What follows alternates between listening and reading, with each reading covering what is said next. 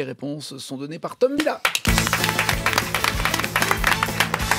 Alors aujourd'hui, Nagui, on reçoit euh, Jean-Paul Rouve et Mélanie Doutet pour le film Donne-moi des ailes. Et... Je suis tellement content d'être là. Ah bah ça fait plaisir, Jean-Paul, moi aussi, je suis content de vous avoir pour ma chronique. Et... Je sens que ça va être super drôle. Oh bah écoutez, je vais tout faire pour. hein. Tout est écrit, tout est parfait. Arrêtez Jean-Paul, vraiment ça me gêne, c'est trop. chance que j'ai de l'avoir rencontré dans ma vie, ce mec-là. Ouais, vraiment, merci. Ça, ça devient presque gênant, mais c'est vrai que c'est bah, pour arriver à une bonne chronique, il faut beaucoup bosser. et- Pierre a raison. Ah non, par contre, moi c'est pas Pierre, c'est Tom. Tom Villa, voilà. Été deux ans avec Bernard Ménez. Ah non, pas du tout, vous confondez avec euh, Daniel Morin.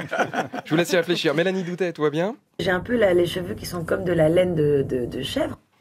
Ah ouais?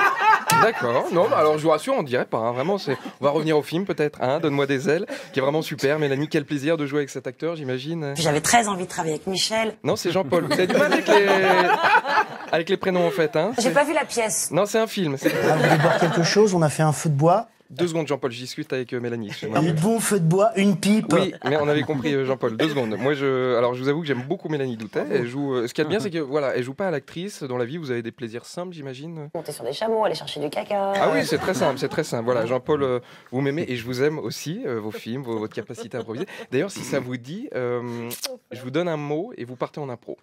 C'est mon rêve. Génial. Alors, on n'a qu'à dire le mot, euh, je sais pas, euh, café. Voilà, café, improviser sur le mot café. Tiens, tu veux un café? Ouais, je veux bien.